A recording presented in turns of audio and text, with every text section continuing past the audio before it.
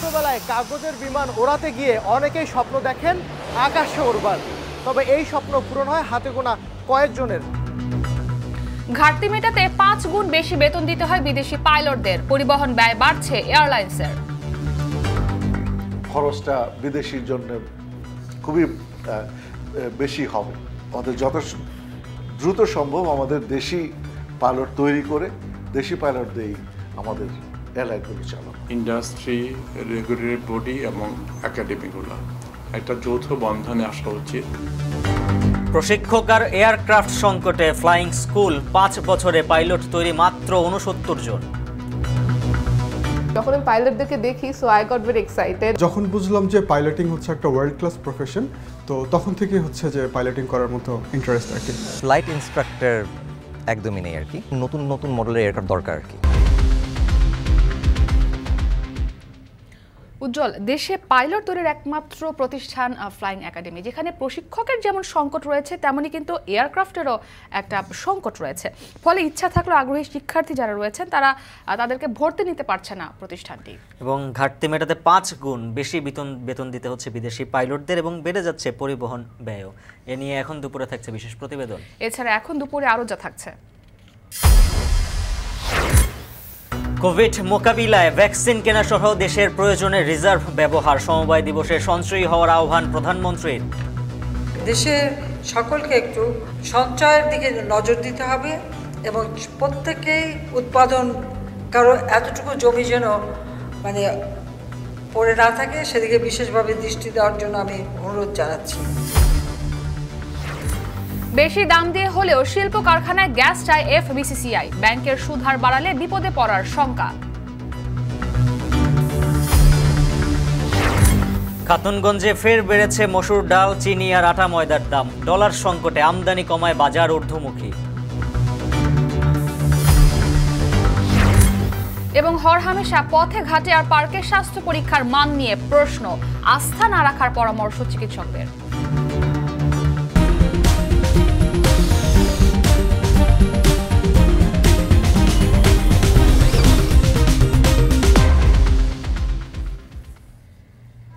স্বাগত, এখন দুপুরে। সঙ্গে আছে আমি উজ্জ্বল হাফিজ। এবং আমি ইসরাত মুক্তি এবারে বিস্তারিত।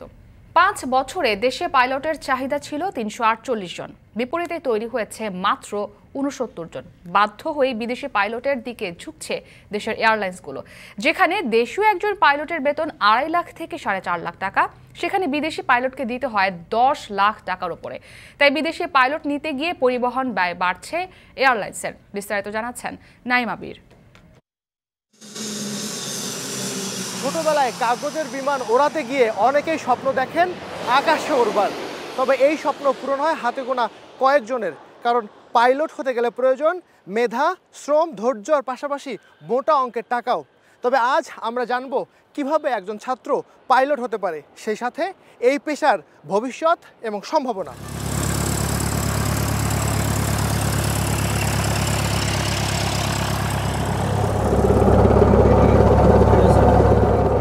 পাইলট হতে গেলে মোটা দাগে পাড়ি দিতে হয় তিনটি ধাপ। Ground course private pilot license PPL আর সবশেষ কমার্শিয়াল পাইলট লাইসেন্স সিপিএল। তিন মাসের গ্রাউন্ড কোর্সে বিমানের কারিগরি এবং এয়ার ল বিষয়ে প্রশিক্ষণ দেওয়া হয়। গ্রাউন্ড কোর্সের পর অংশ নিতে হয় লিখিত পরীক্ষায়। উত্তীর্ণদের শুরু হয় ফ্লাইট ট্রেনিং। যখন আমি পাইলটদেরকে দেখি so I got very excited at that time and ওইখান থেকে অ্যাকচুয়ালি মানে পাইলট হব এই ইচ্ছাটা অ্যাকচুয়ালি জেগেছিল। অবশ্যই পাইলট হব মানে সিপিএলটা শেষ করে যদি আমার ইচ্ছা আছে অ্যাজ ফাস্ট এস পসিবল একটা ভালো জব সিকিউর করা। যখন বুঝলাম যে পাইলটিং হচ্ছে একটা ওয়ার্ল্ড ক্লাস প্রফেশন তো তখন থেকে হচ্ছে যে পাইলটিং করার মতো ইন্টারেস্ট আর কি।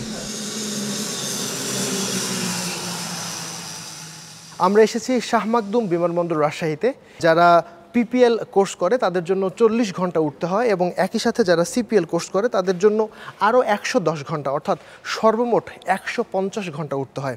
আমরা আজ দেখব কীভাবে স্টুডেন্ট পাইলটরা ফ্লাইট ট্রেনিংগুলো করে থাকে। এখানেই একজন শিক্ষার্থীর পরিচয় ঘটে এয়ারক্রাফটের সাথে। শুরু হয় আকাশে ওড়ার প্রশিক্ষণ। এবার আমরা সচক্ষেই ফ্লাইট ট্রেনিং দেখতে চাই। উঠে বসলাম চার সিটের একটি প্রশিক্ষণ বিমানে। যাবতীয় প্রস্তুতি শেষ করে রওনা হলাম রানওয়ের উদ্দেশ্যে, অতঃপর সিগন্যাল নিয়ে টেক অফ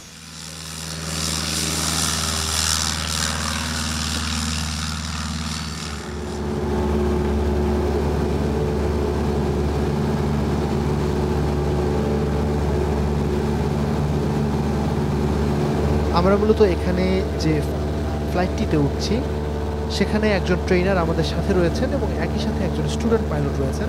ট্রেনার স্টুডেন্ট পাইলটকে আসলে বোঝাচ্ছেন কীভাবে ডানে মন নিতে হয়, কীভাবে বায়ে মন নিতে হয় এবং একই সাথে কোনো দুর্ঘটনা যদি ঘটে, যখন একটি এয়ারক্রাফট উচ্চতা হারিয়ে নিচে নামতে থাকে, কীভাবে তাকে কন্ট্রোল করতে হয়?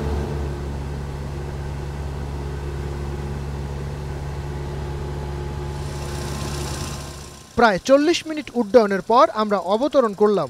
তারপর যথারীতি ট্যাক্সিওয়ে হয়ে হ্যাঙ্গারের উদ্দেশ্যে রওনা।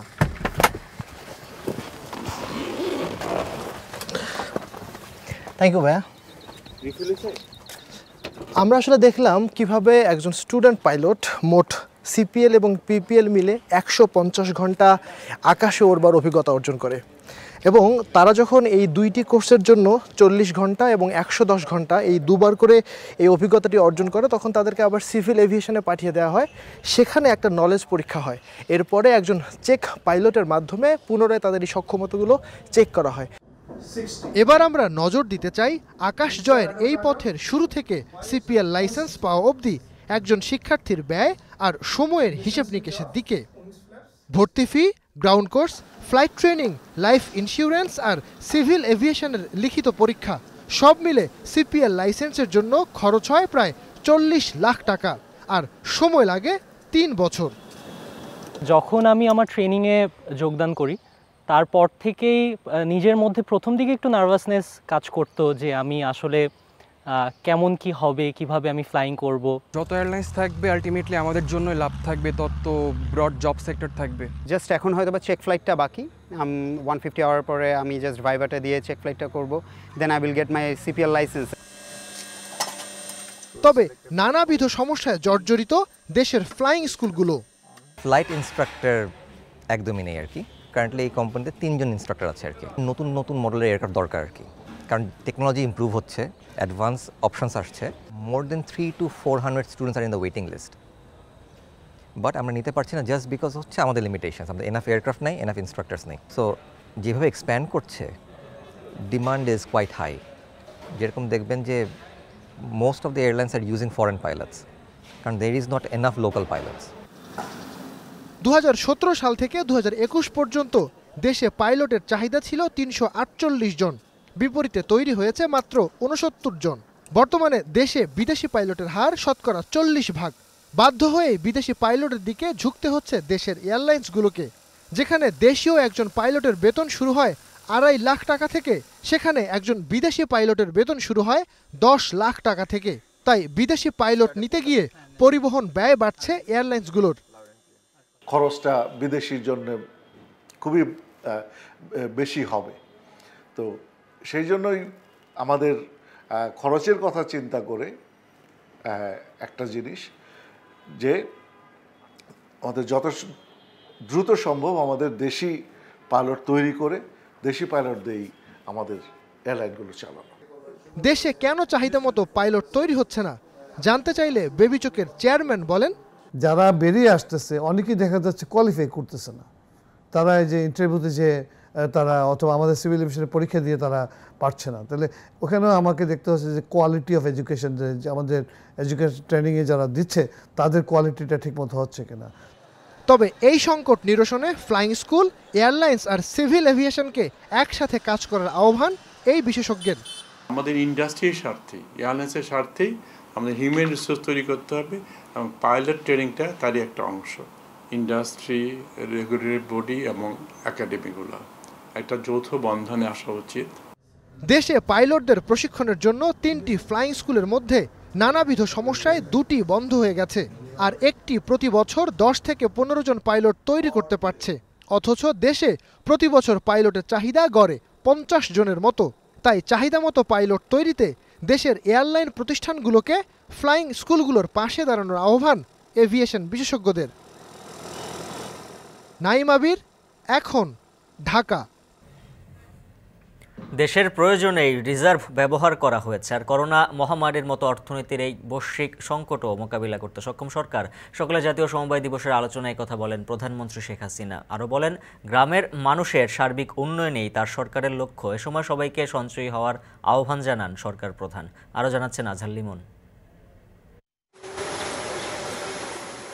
পরিবর্তন আর উন্নয়নের লক্ষ্যে একের সঙ্গে যে প্রয়াস, তাই সমবায়। দুইশো বছরের পুরানো তৃণমূলের এই আন্দোলনের ফসল আজকের উন্নত সমৃদ্ধ দেশগুলো। ফসল ফলাতে ঋণের অভাব আর উপকরণের অপ্রতুলতার প্রেক্ষাপটে ভারতীয় উপমহাদেশেও কৃষকদের মধ্যে সমবায় শুরু হয় একশো বছর আগে। আর বাংলাদেশেও এই সমবায়ের সংখ্যা এখন প্রায় দুই লাখ, যারা প্রতিনিয়ত সঞ্চয় আর বিনিয়োগের মাধ্যমে তৃণমূলের আর্থসামাজিক উন্নয়নে অবদান রেখে চলেছে। উন্নয়ন দর্শন বঙ্গবন্ধু আন্তর্জাতিক সম্মেলন কেন্দ্রে একান্নতম জাতীয় সমবায় দিবসের অনুষ্ঠানে প্রধানমন্ত্রী ভার্চুয়ালি যুক্ত হন গণভবন থেকে। তিনি বললেন সামগ্রিক উন্নয়নের জন্য অপরিহার্য এই সমবায়। জাতির পিতার স্বপ্নের পথ ধরে তৃণমূলের মানুষের উন্নয়নই তার লক্ষ্য উল্লেখ করেন তিনি। সারা বিশ্ব এই কোভিডের কারণে বিশ্ব অর্থনীতি যখন পর্যুদস্ত আমরা কিন্তু বিনা পয়সায় সকলকে ভ্যাকসিন দিয়েছি, যেটা কোনো উন্নত দেশ দেয়নি। আমাদের রিজার্ভের টাকা ব্যবহার করেই আমরা কিন্তু ভ্যাকসিন কিনে এদেশের মানুষকে ভ্যাকসিন দিয়েছি বিনা পয়সায়, যাতে আমাদের দেশ মানুষ সুস্থ থাকে। আমরা মানুষের জন্য কাজ করে যাচ্ছি, কিন্তু সেই সাথে সাথে প্রত্যেক মানুষের নিজস্ব একটা চিন্তা থাকতে হবে, নিজের জীবন জীবিকাকে উন্নত করা। বক্তব্যে বৈশ্বিক অর্থনৈতিক সংকটের কথা উল্লেখ করেন সরকার প্রধান। বলেন এই অভিঘাত মোকাবেলায় আবার সবার একসঙ্গে কাজ করতে হবে। উৎপাদন বাড়ানো এবং সঞ্চয় করা যাতে করে এই অভিঘাত থেকে আমাদের দেশের মানুষ রক্ষা পায় সেই ব্যবস্থাটা নিতে হবে। তিনি বলেন বিদ্যুৎ সংকট মোকাবেলায় আমদানির কথা ভাবছে সরকার। আমরা শতভাগ বিদ্যুৎ দিয়েছি প্রতি ঘরে ঘরে যদিও এখন এই ইউক্রেন যুদ্ধ এবং স্যাংশনের কারণে আমাদের বিদ্যুৎ উৎপাদনে যথেষ্ট বেগ পেতে হচ্ছে। তো আমি আশা করি যে আমরা এই অবস্থা থাকবে না। আমরা সোলার প্যানেল দিচ্ছি, আর তাছাড়া আমাদের কয়লাভিত্তিক বিদ্যুৎ কেন্দ্র নির্মাণ হচ্ছে। আমরা জলবিদ্যুৎ, আমাদের যেমন নেপাল, ভুটান থেকে জলবিদ্যুৎ ক্রয় করারও পদক্ষেপ আমরা নিচ্ছি। হয়তো এর জন্য সময় সাপেক্ষ, কিন্তু এই অবস্থা আমরা উত্তরণ ঘটাতে পারব। সমবায় ক্ষেত্রে বিশেষ অবদানের স্বীকৃতিস্বরূপ এই অনুষ্ঠানে বিশেষ সম্মাননা তুলে দেওয়া হয় সারা দেশের কৃতি সংগঠকদের। আজহার লিমন, এখন ঢাকা। ময়মনসিংহ অঞ্চলে সমবায়ের মাধ্যমে বাড়ছে স্বনির্ভরতা। সঞ্চয় ও ঋণ সহায়তায় কর্মসংস্থান হয়েছে হাজারো মানুষের। জেলার সমবায় সমিতিগুলোর মূলধনের পরিমাণ প্রায় সাড়ে পাঁচশো কোটি টাকা। এই কার্যক্রমের গতি ফেরাতে নিষ্ক্রিয় সমবায় সমিতির নিবন্ধন বাতিলের কথা জানিয়েছেন জেলার সমবায় কর্মকর্তা। হারুনুর রশিদের প্রতিবেদন ছবি তুলেছেন সায়মা কুন্দ।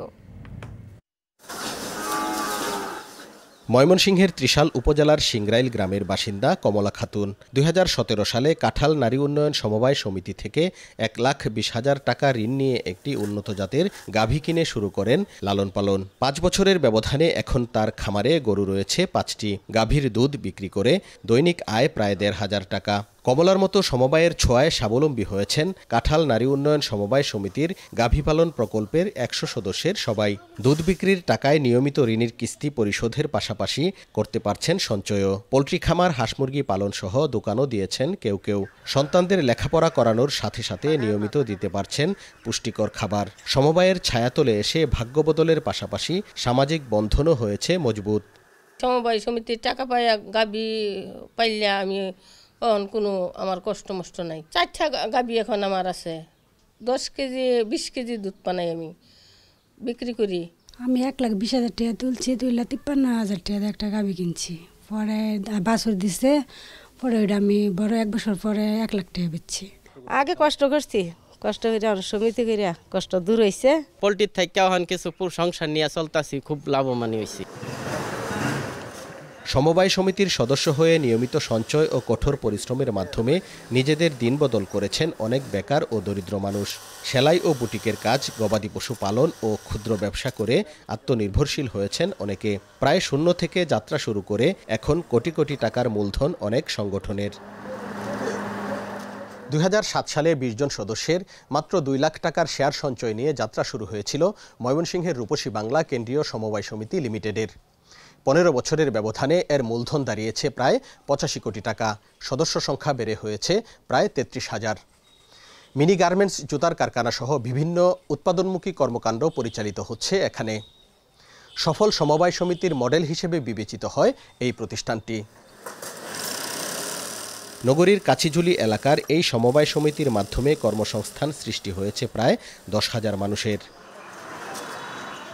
উনিশশো আশি সালে বলাসপুর এলাকার খ্রিস্টান কোঅপারেটিভ ক্রেডিট ইউনিয়নের যাত্রা শুরু হয়েছিল বিশ জন সদস্যের বিশ টাকা করে শেয়ার সঞ্চয়ের চারশো টাকা নিয়ে। বর্তমানে এর সদস্য সংখ্যা দেড় হাজারের বেশি আর মূলধন দাঁড়িয়েছে প্রায় ২৬ কোটি টাকা। রয়েছে হাউজিং ও রেন্টেকার প্রকল্প। সঞ্চয় ঋণ, ডিপোজিট, শিক্ষা সঞ্চয় ও উৎসব সঞ্চয় প্রকল্পও চালু আছে এখানে। ঋণের জন্য আবেদন করতে পাচ্ছি। আর সাথে সাথে ঋণ ঋণও পাচ্ছি। চার লাখ টাকা ঋণ নিয়ে আমি ঘর গৃহ নির্মাণ করেছি গ্রামের বাড়িতে এবং আরও ঋণ নিয়েছি ফিশারিতে মাছ ছাড়ার জন্য। ডিপিএস খুলে হচ্ছে আমাদের সঞ্চয়টাকে আরও বেশি বাড়িয়ে দেওয়া এরকম অনেক সুবিধা আছে। আমাদের ব্যবসা আছে মিনি গার্মেন্টস আছে একটা এটির মাধ্যমে সদস্যরা কাজ করে এখানে। কাজ করে ওই প্রোডাক্টগুলি কাপড় এবং জুতাগুলি আমাদের এগারোটা শোরুম আছে। ওই শোরুমের মাধ্যমে আমরা- আমরা বিক্রয় করে থাকি। ঋণ নেওয়া আমাদের সদস্যরা উপকার পায় এবং এই মাঝে মধ্যে তারা যখনই প্রয়োজন হয় হয় সঞ্চয় উঠায় না হলে ঋণ তারা গ্রহণ করে। জেলা সমবায় কর্মকর্তা জানান, জেলার নিষ্ক্রিয় সমবায় সমিতিগুলোর তালিকা করে সেগুলোকে সক্রিয় করার চেষ্টা চলছে। আর যেগুলো সক্রিয় করা সম্ভব নয়, সেগুলোর নিবন্ধন বাতিল করা হচ্ছে। অকার্যকর সমবায় সমিতিগুলোকে আমরা কার্যকর করার জন্য প্রচেষ্টা অব্যাহত আছে। তাদেরকে নিয়মিত পরিচর্যা করা হচ্ছে। এবং যারা একেবারেই কাজ করতে অনাগ্রহ, কাজ করতে ব্যর্থ হচ্ছে, সমবায় সমিতি আইন এবং বিধিমালা প্রতিপালন করতে ব্যর্থ হচ্ছে, আমরা প্রতি বছরই তাদের নিবন্ধন বাতিল করা হচ্ছে। জেলা সমবায় অফিস জানায়, ময়মনসিংহ জেলায় সাত হাজার সাতত্রিশটি সমবায় সমিতির মধ্যে সক্রিয় সমিতির সংখ্যা মাত্র দুই হাজার। সমবায়ের সংখ্যা প্রায় সাড়ে তিন লাখ। আর কার্যকরী মূলধনের পরিমাণ পাঁচশো চোদ্দ কোটি টাকা। সমবায় সমিতির সদস্যদের নিয়ে প্রতি মাসে অনুষ্ঠিত হয় এরকম উঠোন বৈঠক। এসব উঠোন বৈঠকে সদস্যদের আয়বর্ধন কার্যক্রমের পাশাপাশি স্বাস্থ্য শিক্ষা জন্ম নিয়ন্ত্রণ সহ বিভিন্ন সামাজিক বিষয়ে সচেতন করে তোলা হয়। হারুনুর রশিদ, এখন ময়মনসিংহ। রাশিয়া ইউক্রেন যুদ্ধ বিশ্ব অর্থনীতিকে করোনার চেয়েও ভয়াবহ সংকটে ফেলেছে। এমনটা উল্লেখ করে এফবিসিসিআই সভাপতি বলেন, দাম বেশি দিয়ে হলেও শিল্প কারখানায় নিরবচ্ছিন্ন গ্যাস চান ব্যবসায়ীরা। এছাড়া সতর্ক থাকতে হবে আইএমএফ এর কাছ থেকে ঋণ নেয়ার ক্ষেত্রেও। সকালে রাজধানীতে ইআরএফ কার্যালয়ে এসব কথা বলেন তিনি। বিস্তারিত প্রতিবেদনে। করোনার পর রাশিয়া ইউক্রেন যুদ্ধ ভোগাচ্ছে বিশ্ব অর্থনীতিকে। বৈদেশিক মুদ্রা বাজারে অস্থিরতা তৈরি হওয়ায় বাড়ছে মূল্যস্ফীতি। এই সংকট থেকে উত্তরণের পথ খুঁজছে বাংলাদেশ সহ পৃথিবীর সকল দেশ। এই বাস্তবতা সামনে রেখে রাজধানীর পল্টনে অর্থনীতি বিষয়ক প্রতিবেদকদের শীর্ষ সংগঠন ইআরএফ আয়োজিত ডায়ালগে সাংবাদিকদের মুখোমুখি হন ব্যবসায়ীদের শীর্ষ সংগঠন এফবিসিসিআই সভাপতি। কথা বলেন চলমান অর্থনৈতিক সংকট মোকাবেলার উপায় নিয়ে। এখন সারা পৃথিবীতে যদি দুর্ভিক্ষ হয় বাংলাদেশ তো এর বাইরে না বাংলাদেশের ভিতরেই থাকবে। তা আমার মনে হয় সেক্ষেত্রে আমি যদি মনে করি আমাদের সবাইকে একটু মিতব্যয়ী হতে হবে। কৃষিটাকে যদি একটু প্রোডাক্টিভিটি বাড়াইতে পারি আমাদের এই কাজটা নিয়ে কাজ করা দরকার। কৃষি- কৃষির প্রোডাক্টিভিটি বাড়ানো দরকার উৎপাদন সক্ষমতা বাড়ানো দরকার। সমস্যা সমাধানে ব্যাংকগুলোকে আরও শৃঙ্খলা ও জবাবদিহিতার মধ্যে আনার পরামর্শও দেন তিনি। আমরা দীর্ঘদিন থেকে বলে আসতেছি যে আন্ডার ইনভয়েস হচ্ছে ওভার ইনভয়েস হচ্ছে বিভিন্ন যে দেশে পাচার হচ্ছে ব্যবসায়ীরা পাচার করছে। বাংলাদেশ ব্যাংক যদি মনে করে যে পাচার হয়েছে তাদের রিপোর্টে আসে তাহলে কে পাচার করেছেন? অবশ্যই তারা সেই খবরও তাদের কাছে আছে। তাদের উচিত তাদেরকে ধরা এবং তাদেরকে পানিশমেন্টে নিয়ে আসা। এ সময় আইএমএফ এর ঋণ প্রসঙ্গে বলেন অর্থের দরকার আছে তবে নিজেদের স্বার্থ আর সক্ষমতা বিসর্জন দিয়ে নয়। তাদের ধরনের ধরনের কথা থেকে তারা বলে আমাদের কথাগুলি আমাদেরকে বুঝাইতে হবে আমাদের তাদের বোঝানোর জন্য সক্ষমতা থাকতে হবে। অবশ্যই আমাদের ফরেন কারেন্সি দরকার এখন। আমাদের এই যে গ্যাপটা মিনিমাইজ করার জন্য তার অর্থ এমন না যে আমাদের সমস্ত কিছু জলাঞ্জলি দিয়ে তাদের থেকে টাকা নিতে হবে। ব্যাংকের সুদ হার বাড়িয়ে শিল্প খাতকে শক্তিশালী করা যাবে না। বরং তা করা হলে শিল্প আরও বিপদে পড়বে বলেও সতর্ক করেন এফবিসিসিআই সভাপতি। ইন্ডাস্ট্রি কি সার্ভাইভ করবে কিনা? এখন তো এমনি আমাদের প্রবলেম হচ্ছে আমাদের জ্বালানি নিয়ে প্রবলেম আমি জ্বালানির জন্য, আমি ইন্ডাস্ট্রি বন্ধ রাখতে হচ্ছে। আমি যদি ইন্ডাস্ট্রি বন্ধ রাখি তাহলে আমার ব্যাংকের টাকাটা আমি যে আপনার কিস্তিটা, সেটা কীভাবে শোধ করব? আবার ইন্টারেস্ট বাড়ান ইন্টারেস্ট রেট বাড়ায় দেন, তাইলে অবস্থাটা কোথায় যাবে? আমি মনে করি না যে ইন্টারেস্ট রেট বাড়িয়ে আমরা আপনার এই এই প্রবলেম সলভ করতে পারব। হ্যাঁ কোনো কোনো দেশে হইতে পারে। আর আমেরিকাতে সেটি করেছেন, তারা ডলারের উপর তারা ইন্টারেস্ট রেট বাড়িয়েছেন। তারা ইন্টারেস্ট রেট বাড়িয়েছেন ডলারের কে আরও স্ট্রং করার জন্য। দীর্ঘমেয়াদে জ্বালানি সংকট কাটাতে প্রয়োজনে স্থাপন করতে হবে কয়লা ভিত্তিক বিদ্যুৎ কেন্দ্র। এমনটাই মনে করেন এফবিসিসিআই সভাপতি। মুজাহিদ শুভ, এখন ঢাকা। এক সপ্তাহের ব্যবধানে দেশের অন্যতম পাইকারি বাজার খাতুনগঞ্জে আবারও বেড়েছে। তেল, চিনি, ডাল, আটা ও ময়দা সহ অধিকাংশ ভোগ্য পণ্যের দর। এসব পণ্যের দাম কেজিতে বেড়েছে চার থেকে ছয় টাকা। ব্যবসায়ীদের দাবি, ডলার সংকটে আমদানি কম হওয়ায় সরবরাহ ঘাটতির কারণে দাম বাড়তি। হাজিরা শিউলির প্রতিবেদন। চাহিদা ও যোগানের ওপর ভর করে প্রতি ঘন্টায় দাম ওঠানামা করে দেশের বৃহত্তর পাইকারি বাজার খাতুনগঞ্জে। আন্তর্জাতিক বাজারে কোনো পণ্যের বুকিং রেট বাড়লেই সাথে সাথে প্রভাব পড়ে এই বাজারে।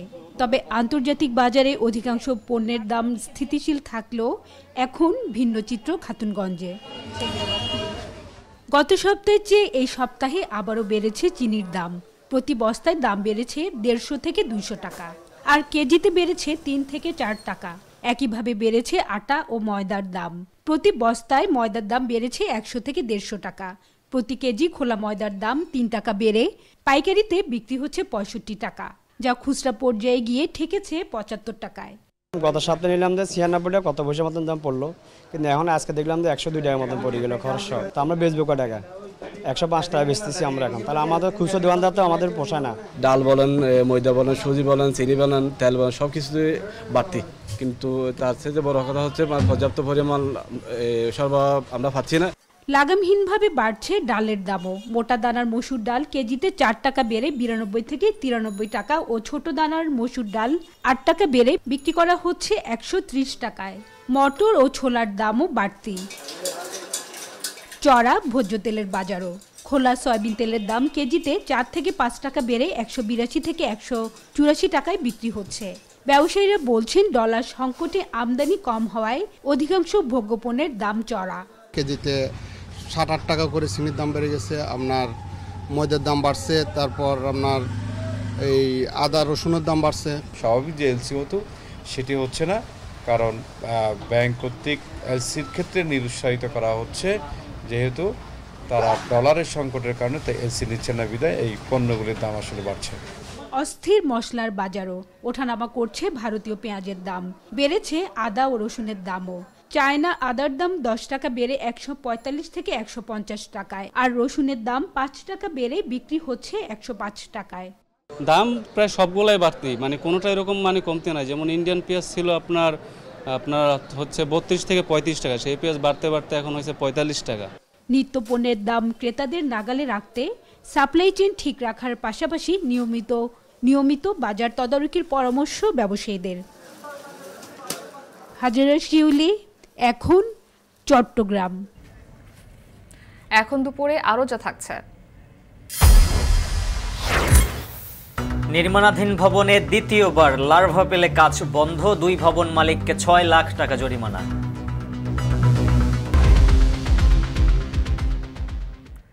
পথে ঘাটে করা স্বাস্থ্য পরীক্ষায় শতভাগ বিশ্বাস না করার পরামর্শ দিয়েছেন চিকিৎসকরা। যদিও খরচ কম আর লাইনে দাঁড়ানোর ঝামেলা না থাকায় অনেকেই নিয়মিত পরীক্ষা করান যেখানে সেখানে। রোগ প্রতিরোধে এসব পরীক্ষা কখনো সুফল বয়ে আনলেও চূড়ান্ত পরীক্ষা হাসপাতালের প্যাথোলজিতে করার পরামর্শ বিশেষজ্ঞদের। আসিফ ইকবালের ছবিতে দেখুন মুজাহিদ শুভর বিশেষ প্রতিবেদন। যেন ছোটখাটো প্যাথোলজি। রমনা পার্কের ফটকে দরকারি কয়েক ধরনের মেডিকেল পরীক্ষা নিরীক্ষা করা হয়, এই টেবিলে বসেই। ব্লাড গ্রুপ নির্ণয়, ডায়াবেটিস, ব্লাড প্রেশার, কোলেস্টেরল থেকে শুরু করে জন্ডিস, ইউরিক অ্যাসিড পর্যন্ত গুরুত্বপূর্ণ পরীক্ষার ফল দেয়া হয় মুহূর্তেই। যারা দীর্ঘদিন নানান রোগে ভুগছেন, তারা ছাড়াও রোগমুক্ত মানুষের অনেকেই এই সব পরীক্ষা নিরীক্ষা করে থাকেন। হাসপাতালের প্যাথোলজির চেয়ে খরচ কম হওয়ায় হাঁটাহাঁটি বা ব্যায়াম শেষে মাঝে মাঝেই পরীক্ষা করিয়ে থাকেন সাধারণ মানুষ। তবে এসব পরীক্ষা কতটা মানসম্পন্ন সেটি নিয়ে খুব একটা মাথা ব্যথা নেই কারোরই। অধিকাংশই মনে করেন, বড় হাসপাতালের কাছাকাছি ফল দিয়ে থাকে এইসব রাস্তাঘাটের পরীক্ষা নিরীক্ষা। কখনো কখনো ফলাফলে বিস্তর পার্থক্য দেখা দিলেও তা নিয়ে তেমন একটা মাথাও ঘামান না কেউই। এখানে পরিপূর্ণভাবে বিশ্বাস করতে পারি না, ডাক ডক্টরের কাছে যাই, তারপর আবার যদি ডক্টর বলে থাইরয়েড ডায়াবেটিস এগুলো আবার পরীক্ষা করতে পরীক্ষা করি। আপনাকে যখন ফাইনালি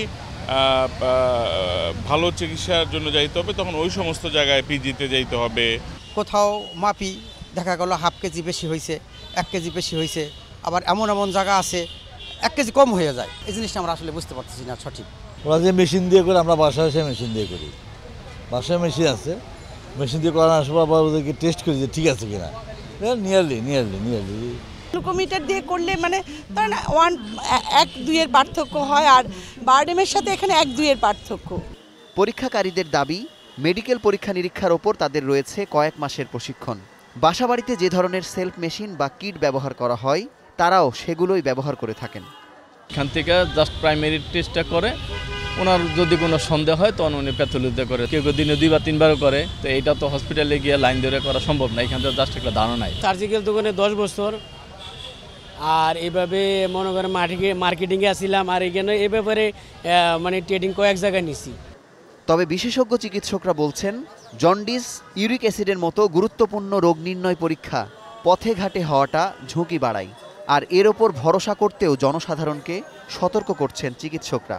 জন্ডিসের যে পরীক্ষা অথবা ইউরিক অ্যাসিডের যে পরীক্ষা এগুলো আসলে এরকম জায়গায় মানে আমার মনে হয় যে করে দিগণ্য তবে এখানে কথাও বলা দরকার যে ডায়াবেটিসের যে পরীক্ষা এবং উচ্চ রক্তচাপ, যদি এখানে কোনো ইন্ডিকেশন পাওয়া যায় যে না আমার রক্তচাপটা বেশি লাগছে অথবা আমার রক্তের গ্লুকোজটা বেশি লাগছে, সেটা কিন্তু অবশ্যই অবশ্যই আরও একটু পূর্ণাঙ্গভাবে ডিটেলস পরীক্ষা করে এই বয়সে ডায়াবেটিস আছে কিনা অথবা ব্লাড প্রেশার আছে কিনা সেটা কিন্তু করতেই হবে।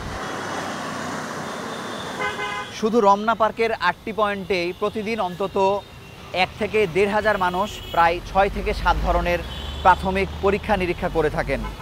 এই পরীক্ষাগুলো কোনো কোনো ক্ষেত্রে সঠিক বা কাছাকাছি ফল দিলেও চূড়ান্ত ফলাফলের জন্য বড় বড় হাসপাতালের প্যাথোলজিতে যাবার পরামর্শ বিশেষজ্ঞদের। মুজাহিদ শুভ, এখন Dhaka. Teesta solar power plant, দেশের সবচেয়ে বড় সৌর বিদ্যুৎ কেন্দ্র, যেখানে প্রতি ঘন্টায় উৎপাদন সক্ষমতা দুশো থেকে সর্বোচ্চ দুশো আশি মেগাওয়াট পর্যন্ত। বছরে আসবে তিনশো পঞ্চাশ গিগাওয়াট আওয়ার বিদ্যুৎ, যার দাম প্রায় আড়াইশো কোটি টাকা। গাইবান্ধায় সোলার প্ল্যান্টটি এখন উদ্বোধনের অপেক্ষায়। এটি চালু হলে অনেকটাই সমাধান হবে উত্তরাঞ্চলের বিদ্যুৎ সংকটের। সাইফুল ইসলাম সাগরের ক্যামেরা জানাচ্ছেন হেদায়তুল ইসলাম বাবু। উত্তরের জীবনরেখা তিস্তা ঘিরে আশার আলো যখন নিভু নিভু, তখন সুন্দরগঞ্জের লাটশালা ও চরখোর্দা অংশে তিস্তা পাড়ে উন্মোচিত হতে যাচ্ছে সম্ভাবনার দ্বার যতদূর চোখ যায়, সোলার প্যানেলে ঢাকা বালুচর। বিশেষ পদ্ধতিতে পাঁচ লাখ বিশ হাজার সোলার প্যানেল বসানো হয়েছে এখানে, যেখান থেকে ষোলোটি ইনভার্টার স্টেশন হয়ে নিয়ন্ত্রণ কক্ষের মাধ্যমে বিদ্যুৎ যাবে গ্রিডে। ষোলোটা ব্লক মানে ষোলোটা ইনভার্টার স্টেশন যেগুলো করে কি ডিসি বিদ্যুৎটাকে এসিতে রূপান্তর করে। এবং প্রত্যেকটাতে আমার ট্রান্সফরমার আছে। ওরা ওই এসিটা হচ্ছে ছয়শো ভোল্ট ইনভার্টার ছয়শো ভোল্ট জেনারেট করে দেয় ট্রান্সফরমারটা ছয়শো থেকে তেত্রিশ কেভি করে দেয়। এখানে যে জমির উপরে আমরা কাজটা করছি, এটা কিন্তু মূলত একটা মানে চর ছিল। এখানে কিন্তু কোনো ফসল ছিল না বা গাছপালা তেমন কিছু ছিল না। সো এইটাকে কাজে লাগিয়ে আমরা বিদ্যুৎ উৎপাদন করছি। সো এখানে কমপ্লিটলি প্রজেক্টটা আসলে গ্রিন প্রজেক্ট হিসেবে আমরা বলতে পারি যে এটা দুইশো মেগাওয়াট বিদ্যুৎ উৎপাদনটা হচ্ছে একদম কমপ্লিটলি ক্লিন এনার্জি এই সোলার প্লান্টের ঘন্টায় উৎপাদন সক্ষমতা দুইশো থেকে সর্বোচ্চ দুইশো আশি মেগাওয়াট বছরে উৎপাদন হবে তিনশো পঞ্চাশ গিগাওয়াট আওয়ার বিদ্যুৎ। জ্বালানি ব্যবহার করে সমপরিমাণ বিদ্যুৎ উৎপাদনে যেখানে ব্যয় হতো একশো বত্রিশ কোটি লিটার ডিজেল। অল্টারনেটিভ এনার্জির মধ্যে আমরা দুটো বিষয় পাই হ্যাঁ? বড় দাগে, একটা হচ্ছে সোলার সৌরশক্তি, আর একটা হচ্ছে উইন্ড পৃথিবী যতদিন টিকা আছে, সূর্য যতদিন টিকা আছে, ততদিন আমরা এই এনার্জিটা পাবো। এই প্রকল্প থেকে বিদ্যুৎ উৎপাদন শুরু হলে গাইবান্ধা, রংপুর সহ উত্তরের আট জেলায় বিদ্যুতের লোডশেডিং যেমন কমবে, তেমনি গতি ফিরবে শিল্প কারখানায় আশা ব্যবসায়ীদের। যদি এই সোলার প্যানেলটা চালু হয় এবং এই বিদ্যুৎটা যদি আমরা উত্তরের আটটা ডিস্ট্রিক্ট যদি পাই, পাওয়ার পরে যদি আমাদের লোডশেডিং কমে, তাহলে আমাদের উৎপাদন বাড়বে, কলকারখানাগুলি নিরবিচ্ছিন্নভাবে চলবে।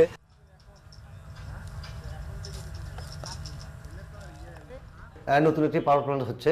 সেখানে আমরা অবশ্যই আশাবাদী যে সেটি হলে আমাদের বিদ্যুতের যে দৈন্যদশা সেটি অবশ্যই কাটবে। এবং সেই সাথে বলে যে এইটে পাওয়ার পরে সেটি যেন আমাদের বিতরণ ব্যবস্থায় যেন সেটিতে কোনো বাধাগ্রস্ত না হয়।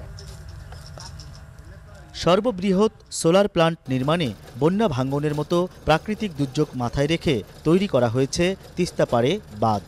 দুই হাজার সতেরো সালে কাজ শুরুর পর বাঁধ নির্মাণ এবং মাটির নিচ দিয়ে বিদ্যুতের তার নিতে গিয়ে বেশ কিছু প্রতিকূল পরিস্থিতি মোকাবিলা করতে হয়েছে কর্তৃপক্ষকে।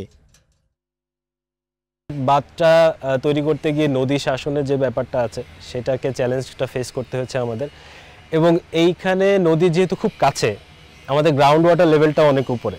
সো আমরা যখন কেবেল কেবেলগুলো আন্ডারগ্রাউন্ড করার জন্য এক্সকাভেশন করতে গিয়েছি এক্সকাভেশন করতে গেলে সেখানে পানি এসে গিয়েছে এবং পানির কারণে কেবেলগুলো লে করা আমাদের জন্য খুব চ্যালেঞ্জিং হয়েছে, যেটা কিনা most important part of this project প্রকল্পের ভেতরে মাটির নিচ দিয়ে সাড়ে পাঁচ কিলোমিটার ক্যাবল স্থাপনের পাশাপাশি সুন্দরগঞ্জের তিস্তা পাড় থেকে রংপুর পর্যন্ত নির্মাণ করা হয়েছে ৩৫ কিলোমিটার বিদ্যুৎ সঞ্চালন লাইন। ছয়শো একর জায়গা জুড়ে তিস্তা সোলার প্লান্ট বাস্তবায়নে বেক্সিমকো লিমিটেডের ব্যয় প্রায় দেড় হাজার কোটি টাকা। আইসিআর, এমসিআর সহ বিদ্যুৎ সঞ্চালন লাইনের প্রায় সব কাজ যখন শেষ, তখন অপেক্ষা শুধু উদ্বোধনের। আশা করা হচ্ছে, আসছে বিজয়ের মাস ডিসেম্বরে প্রকল্পটি উদ্বোধনের মধ্য দিয়ে খুলে যাবে সম্ভাবনার দ্বার। জাতীয় গ্রিডে সৌর বিদ্যুৎ থেকে যোগ হবে আরও দুইশো মেগাওয়াট বিদ্যুৎ। তিস্তা সোলার প্লান্ট থেকে হেদায়তুল ইসলাম বাবু এখন সুন্দরগঞ্জ গাইবান্ধা। এখন দুপুরে নিচ্ছি ছোট্ট একটি বিরতি। ফিরছি একটু পর সাথেই থাকুন।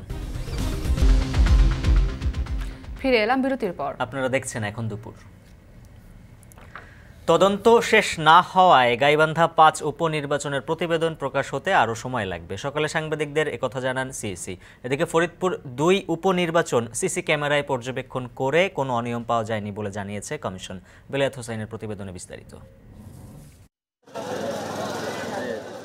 সাম্প্রতিক সময়ের সবচেয়ে আলোচিত নির্বাচন, গাইবান্ধা পাঁচ আসনের ভোট। অনিয়মের কারণে প্রথমে একান্ন কেন্দ্র, পরে পুরো আসনের ভোট বন্ধ করে দেয় ইসি। অনিয়মে কারা জড়িত বের করতে গঠন করা হয় তদন্ত কমিটি। দুই দফা সময় বাড়ানোর পরও প্রতিবেদন প্রকাশ করতে পারেনি কমিশন। ইসি এখন বলছে, সময় লাগবে আরও সাত থেকে দশ দিন। বৃহস্পতিবার ফরিদপুর দুই আসনের নির্বাচনও ইসি সচিবালয় থেকে সিসি ক্যামেরায় পর্যবেক্ষণ করে নির্বাচন কমিশন। মনিটরিং কক্ষে সাংবাদিকদের সিইসি বলেন, গাইবান্ধার ভোটে আরেক দফা তদন্ত হবে। যে নির্বাচনটা শান্তিপূর্ণ পিসফুল হতে হবে, ভিতরে কোনো অনিয়ম যেন না হয়, সেদিক থেকে আমরা সন্তুষ্ট। তো আমরা এখান থেকে পর্যবেক্ষণ করছি অ্যাজ অফ নাও খুবই ভালো এবং সন্তোষজনক তিনি জানান, শুধু অনিয়ম হওয়া একান্ন কেন্দ্রেই তদন্ত হয়েছে। তদন্ত হবে বাকি চুরানব্বই কেন্দ্র। তারপর প্রকাশ করা হবে প্রতিবেদন। চুরানব্বইটি সেন্টার, যেগুলো আমরা, যেগুলোর উপর কোনো সিদ্ধান্ত আমরা দিইনি। আমরা যেগুলোকে পুরোপুরি পর্যবেক্ষণ করিনি। আমরা সিদ্ধান্ত নিয়েছি যে একটা কমিটি, আমাদের যে সিসিটিভি ফুটেজ আছে, সেগুলো দেখে ওর উপর তারা একটা পর্যবেক্ষণ প্রতিবেদন আমাদেরকে দেবে। সেই লক্ষ্যে আমরা একটা কমিটি করে দিয়েছি। আগের যে কমিটি, ওরাই এটা পরীক্ষা করে আমাদেরকে সাত দিনের মধ্যে একটা রিপোর্ট দেবে। রিপোর্ট দিলে পরে আমরা টোটাল গাইবান্ধার যে নির্বাচন, ওর উপরে আমরা সমন্বিত সিদ্ধান্ত গ্রহণ করব। গাইবান্ধার মতো ফরিদপুর দুই আসনের একশো তেইশটি ভোট কেন্দ্র এক হাজার চুয়ান্নটি সিসি ক্যামেরায় পর্যবেক্ষণ করে ইসি। এতে খরচ ধরা হয় আশি লাখ টাকা। ফরিদপুরের ভোটে কোনো অনিয়ম পাওয়া যায়নি বলেও জানান সিইসি। বেলায়েত হোসাইন, এখন ঢাকা। নির্মাণাধীন ভবনে দ্বিতীয়বারের মতো এডিসের লার্ভা পাওয়া গেলে নির্মাণ কাজ বন্ধ করে দেওয়া হবে। সকালে রাজধানীর উত্তরায় ডেঙ্গু প্রতিরোধ কার্যক্রমে অংশ নিয়ে কথা বলেন ঢাকা উত্তর সিটির মেয়র আতিকুল ইসলাম। এ সময় লার্ভা পাওয়ায় দুটি নির্মাণাধীন ভবন মালিককে ছয় লাখ টাকা জরিমানা করা হয়। সিউল আহমেদের প্রতিবেদন। উত্তরা ১৩ নম্বর সেক্টর, ঢাকা উত্তর সিটি কর্পোরেশনের একান্ন নম্বর ওয়ার্ড। স্বাস্থ্য অধিদপ্তরের জরিপ বলছে, উত্তর সিটি কর্পোরেশনে যে দুটি হটস্পট রয়েছে, তার মধ্যে একটি উত্তরা। আর এখানে নির্মাণাধীন ভবনের ভেতরেই পাওয়া গেল এডিস মশার লার্ভা। কয়েক মিটার দূরে নির্মাণাধীন আরেকটি ভবনেরও একই অবস্থা। এর আগের অভিযানেও এই দুইটি নির্মাণাধীন ভবনে লার্ভা পাওয়া গিয়েছিল। দ্বিতীয়বারের মতো লার্ভা পাওয়ায় দুটি ভবনের মালিককে তিন লক্ষ করে মোট ছয় লক্ষ টাকা জরিমানা করা হয়। এছাড়া রাজুক এবং রিহাব থেকে ছাড়পত্র না পাওয়া পর্যন্ত বন্ধ থাকবে নির্মাণ কাজও। আগে পানি দিচ্ছিলাম আর কি। আমাদের তো উপরে কাজ চলতেছে বিল্ডিং এ তো ওকে এর জন্য আমি আর কি পানি দিচ্ছি। আইসা ওরা মানে তদারকি করে যায় সব সময় মাঝে। মাঝে আজকে আজকেও আসছিল। আজকেও আ- আসছিল ওরা আপনাদের আসার আগে দিয়ে আইসা আমি যে পরিষ্কার করব ওইটুকু সময় দেয় না আমার আমি পরিষ্কার করতাম এদিকে সকালে এলাকাবাসী ও জনপ্রতিনিধি সহ জনসচেতনতামূলক কার্যক্রম চালায় উত্তর সিটি কর্পোরেশন। পরে মেয়র সাংবাদিকদের বলেন নির্মাণাধীন ভবনে দ্বিতীয়বারের মতো এডিসের লার্ভা পাওয়া গেলে কাজ বন্ধ করে দেওয়া হবে। যেই বাসা বাড়িতে আমরা গিয়েছি সবার কিন্তু লিস্ট কিন্তু আমাদের ডাটা বেসে কিন্তু আছে। সমস্ত ঢাকা নর্থ সিটি কর্পোরেশনের কোন কোন বাড়িতে আমরা সেকেন্ড টাইম যাচ্ছি, নাকি ফার্স্ট টাইম যাচ্ছি, নাকি থার্ড টাইম যাচ্ছি, ওটার লিস্ট কিন্তু আমাদের কাছে আছে। যে সেকেন্ড টাইম যদি কোনো বাসা বাড়িতে বা যে কোনো কনস্ট্রাকশানে যদি লার্ভা পাওয়া যায়, তাহলে সেই বাড়ি কনস্ট্রাকশন বন্ধ করে দেওয়া হবে। এছাড়াও মেয়র জানান, ছেচল্লিশটি নগর স্বাস্থ্য কেন্দ্রে বিনামূল্যে ডেঙ্গু টেস্ট করাতে পারবেন নগরবাসী। সিউল আহমেদ, এখন ঢাকা। বিএনপির আগুন সন্ত্রাসের ভয়ে বরিশালে স্বেচ্ছায় গণপরিবহন বন্ধ রেখেছে মালিকরা। দুপুরে কুমিল্লা টাউন হল মাঠে মহানগর আওয়ামী লীগের ত্রিবার্ষিক সম্মেলনের উদ্বোধনী বক্তব্যে কথা বলেন দলের সাধারণ সম্পাদক ওবায়দুল কাদের। সম্মেলন ঘিরে সকাল থেকেই নগরীর টাউন হল মাঠে জড়ো হতে থাকেন আওয়ামী লীগ ও সহযোগী সংগঠনের নেতাকর্মীরা। মিছিলে মিছিলে মুখরিত হয় নগরীর বিভিন্ন এলাকা। বেলা এগারোটায় শুরু হয় সম্মেলন। স্থানীয় নেতাদের পাশাপাশি আওয়ামী লীগের কেন্দ্রীয় নেতারা বক্তব্য দেন সম্মেলনে। আগামী জাতীয় নির্বাচনে জয়ী হতে দলের প্রতিটি নেতাকর্মীকে ঐক্যবদ্ধ হওয়ার আহ্বান জানান বক্তারা।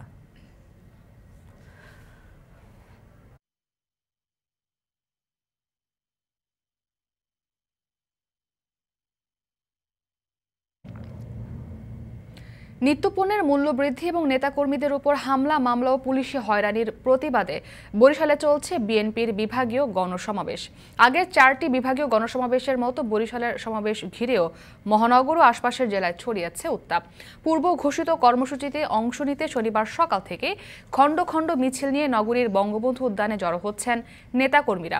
সমাবেশে আসার সময় পথে পথে বাধা দেওয়ার অভিযোগ করেন তারা।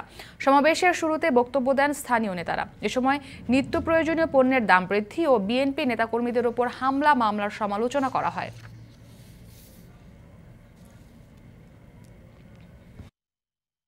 কক্সবাজারের নাজিরা থেকে পুরোদমে চলছে শুটকি উৎপাদন। তাই ব্যস্ত শ্রমিক ও ব্যবসায়ীরা। আবহাওয়া অনুকূলে থাকলে এখানে প্রতি মাসে উৎপাদিত হয় দুই হাজার টনের বেশি শুটকি, যার বাজার মূল্য প্রায় আড়াইশো থেকে তিনশো কোটি টাকা। সহকর্মী মনতোষ বেদজ্ঞর প্রতিবেদনে দেখব বিস্তারিত।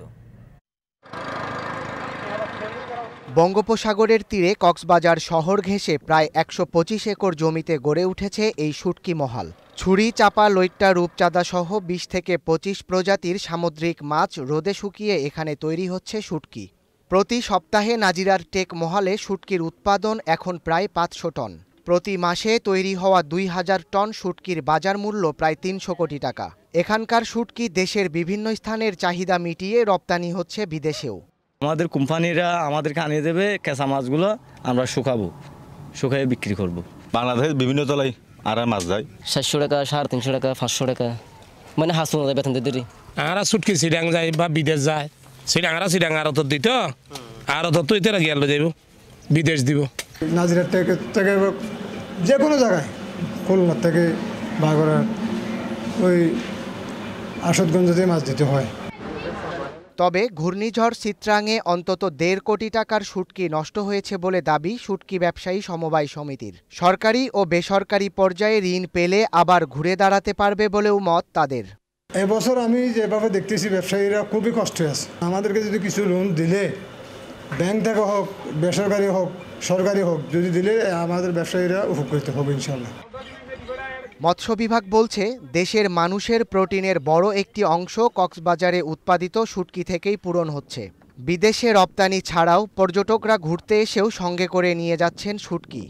আমরা প্রশিক্ষণের মাধ্যমে বিভিন্ন মোটিভেটেড প্রোগ্রামের মাধ্যমে এদের উদ্বুদ্ধ করে এখান থেকে আমরা মাচাই তৈরি করে, এরপরে আমরা এখন আমরা যেটা আমরা অর্গানিক শুটকি তৈরি করে উদ্বুদ্ধ করার মাধ্যমে অনেকে এই অর্গানিক শুটকিগুলো তৈরি করতেছে। বিভিন্ন জায়গা থেকে বিভিন্ন লোক বেড়াইতে আসে, কিন্তু একটা কোনো জিনিস না নিলে শুটকি আসলে তাদের ইয়ে হিসেবে নিয়ে যায় আর কি তো আমরা চাচ্ছি এই শুটকিটার কাছে পর্যটন হিসেবে, পর্যটন পণ্য হিসেবে স্বীকৃতি দেওয়া এটা আমাদেরও দাবি।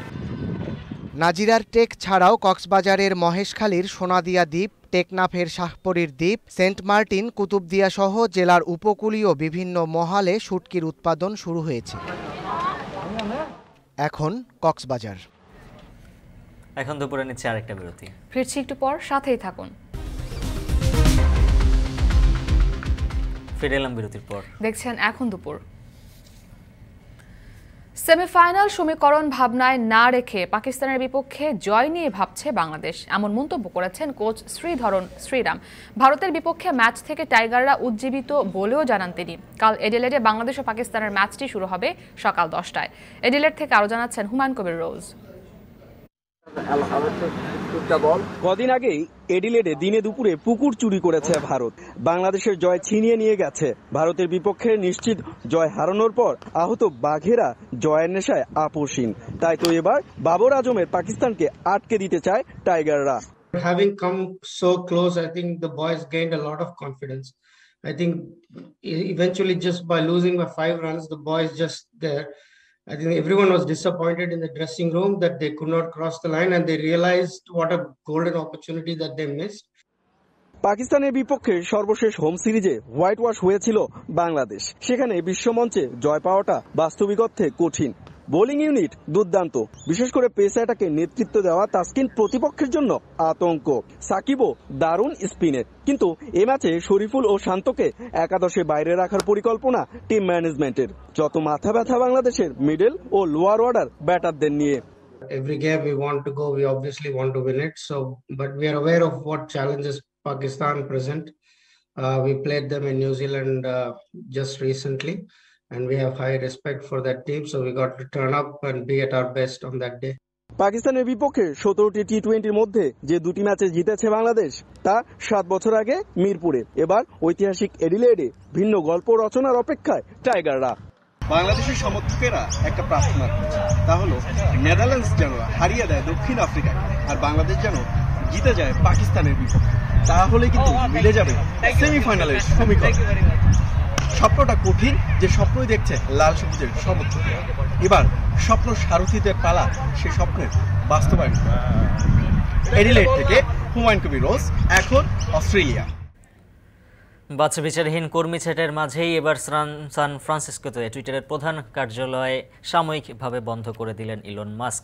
এর আগে নানা গুঞ্জনের অবসান ঘটিয়ে ইমেইলের মাধ্যমে টুইটার কর্মীদের বরখাস্তের প্রক্রিয়া শুরু হয়। এদিকে হুট করে চাকরি চলে যাওয়ায় ক্ষোভে ফুসছেন টুইটারের কর্মীরা। বিস্তারিত নাফিয়ার মননের প্রতিবেদন। টুইটারে শুরু হয়েছে কর্মী ছাঁটাইয়ের হিড়িক। নিজেদের সব কার্যালয় অস্থায়ীভাবে বন্ধ করে ইমেইলের মাধ্যমে কর্মী ছাঁটাই করছেন ইলন মাস্ক। এর পাশাপাশি বাতিল করা হয়েছে কর্মীদের কোম্পানিতে প্রবেশের সুবিধাও। গ্রাহকদের তথ্যের নিরাপত্তা নিশ্চিতে এ সিদ্ধান্ত নেওয়া হয়েছে বলে দাবি জনপ্রিয় এই সামাজিক যোগাযোগ মাধ্যমটির। মালিকানা বদলের পরই টুইটারের কর্মী সংখ্যা অর্ধেকে নামানোর কথা বলেছিলেন ইলন মাস্ক। গেল বৃহস্পতিবার কর্মীদের কাছে এক মেইল বার্তা পাঠায় টুইটার। সেখানে বলা হয়, টুইটারকে একটি সুস্থ, স্বাভাবিক পথে এগিয়ে নিতে শুক্রবার থেকে বিশ্বব্যাপী কর্মী কমানোর প্রক্রিয়া শুরু করবে প্রতিষ্ঠানটি। এদিকে হুট করে চাকরি চলে যাওয়ায় ক্ষোভে ফুসছেন টুইটারের কর্মীরা। টুইট বার্তার মাধ্যমেই জানাচ্ছেন, নিজেদের চাকরি চলে যাবার খবর একই সঙ্গে করছেন ইলন মাস্কের সমালোচনা। Obviously, in in the way that this plays out, they will have to be very careful about abiding by labor laws in, in any given territory. Um, that's not really something that, that you can just ignore. So we'll, we'll have to see how that plays out. Elon মাস্কের দাবি Twitter কিনতে বেশি অর্থ খরচ করায় তাকে কর্মী ছাঁটাইয়ের পদক্ষেপ নিতে হয়েছে Look, ultimately, when Musk paid the 44 billion, it put a lot of pressure financially on this deal with the debt. Big layoffs were going to come. 50% is an extreme number. And I think it just speaks to how dire the situation is and ultimately how much pressure Musk face now with owning Twitter. তবে Elon Musk ছাঁটাই প্রক্রিয়া আরও সহজ করতে পারতেন বলে মত বিশ্লেষকদের Could this be done in a better way from my perspective? Uh, certainly, yes.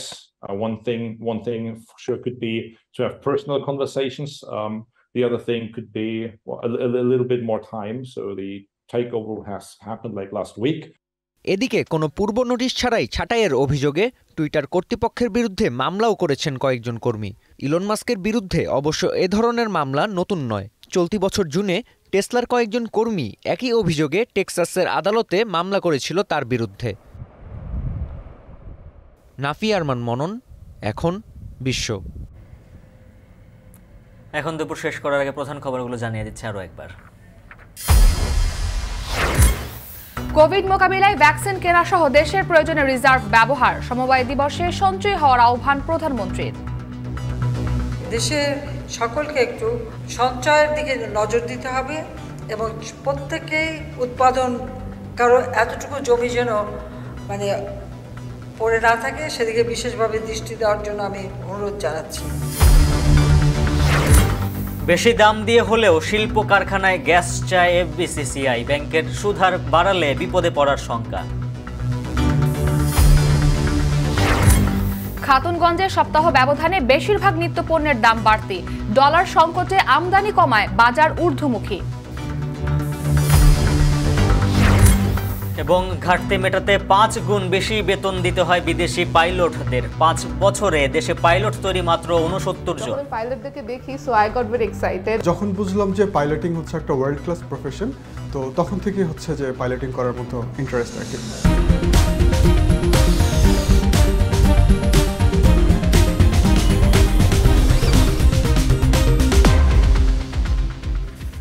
শেষ করছি এখন দুপুর। এখন টেলিভিশন ফেসবুকে দেখতে ভিজিট করুন Facebook dot com slash TV dot Ekhon. এবং ইউটিউবে এখন টেলিভিশন দেখতে ভিজিট করুন YouTube dot com slash C slash Ekhon TV